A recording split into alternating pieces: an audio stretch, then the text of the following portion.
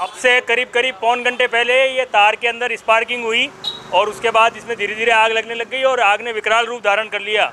और करीब करीब करीब करीब पचास साठ मीटर जितना तार बिल्कुल लाल सुरुक हो गया और आग उसमें से निकल रही थी।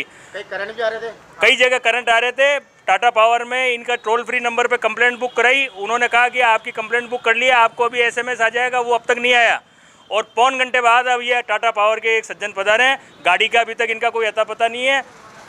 इस प्रकार किसी भी प्रकार और ये बहती रोड है चलती रोड है इधर नाला पूरा चल रहा है। हो सकती थी बिल्कुल जनहानि हो सकती थी कोई भी हादसा कारित हो सकता था। मेरा तार का कौन सी जगह का एरिया है? कहाँ ये कचेरी रोड से ब्रह्मपुरी की तरफ़ मुड़ते हैं।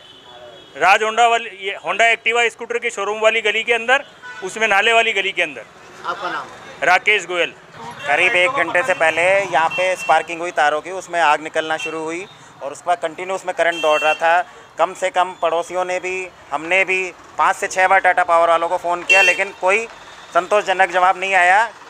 यही जवाब आ कि आ रहे हैं आ रहे हैं आ रहे हैं जगह पौन घंटे बाद एक सज्जन है वो भी केवल इसको देखने के लिए आए क्या इससे कोई जनानी हो सकती थी? बिल्कुल जनानी हो सकती थी सर। बहुत बड़ी जनानी हो सकती थी। ये आम रास्ता है आने जाने के लिए।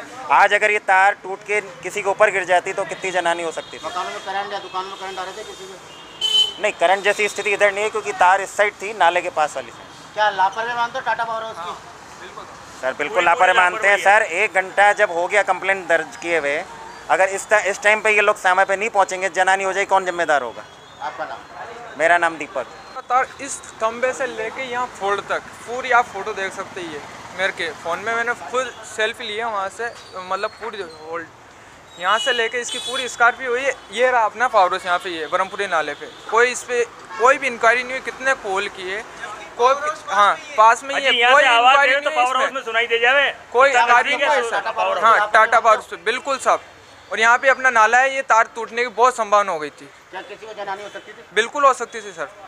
कौन सी जगह कहाँ पर है? ये ब्रह्मपुरी नाला है सर राज होंडा के पास एक्टिवा का। आपका नाम? पिंटू सिंह।